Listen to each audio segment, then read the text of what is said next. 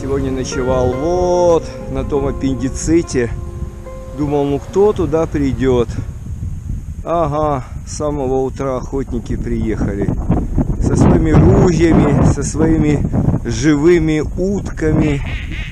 Как давай стрелять. Еле ноги унес.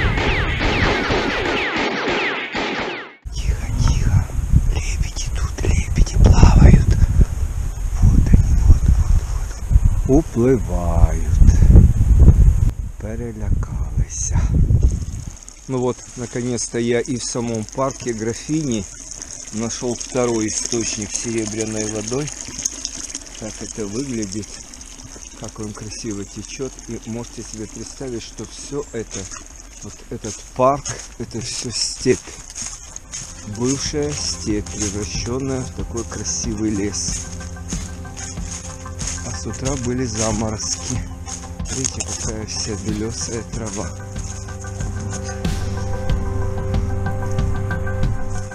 Заморозки, изморозь. Сегодня была изморозь.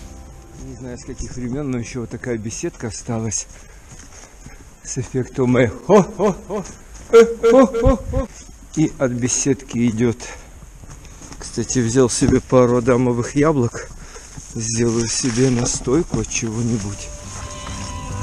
Тропинка и мостик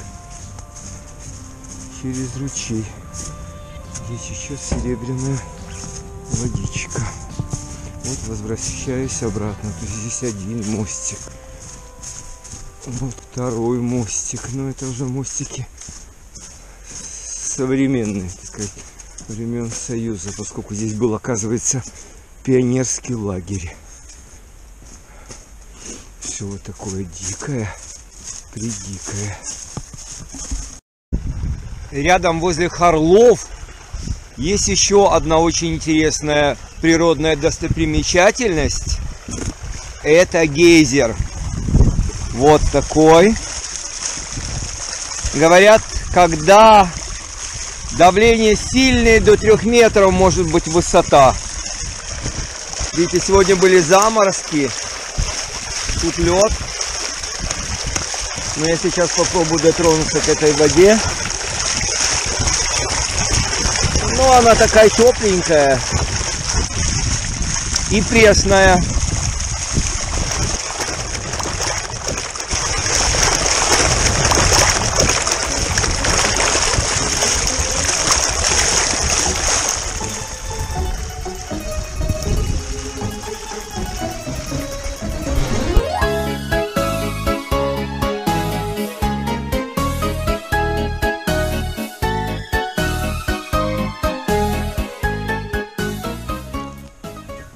Самом деле очень много ходит версий о возникновении Олешкинских пескив. Одна из них, что это природный катаклизм. Еще то, что животные в большом количестве, копытные животные вытоптали траву. В общем, непонятно, что здесь произошло. Но самая большая в Европе полупустыня – это здесь. А это только начало песков. Как вы видите, большим сосновым поясом, а это единственные деревья, которые могут расти на песке, смогли остановить движение песков, которые из-за ветра, бурь переносились, открывались все больше и больше и больше. И вот в советские времена поясом сосновым остановили движение песка. В народе это называется кучугуры.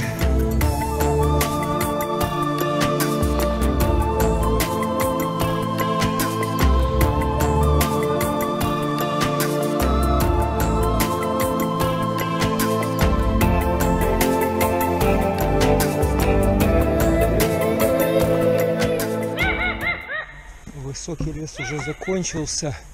Иду в разведку. Все, деревья становятся ниже и ниже. Песка все больше и больше. И где-то поезд должен закончиться.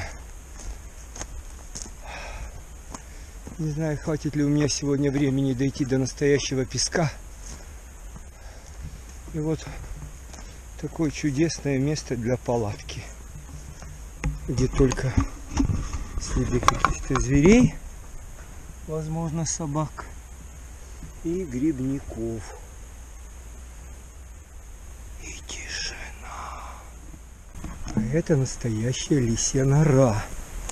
Вот следы лисички. И туда она, наверное, таскает своих курей.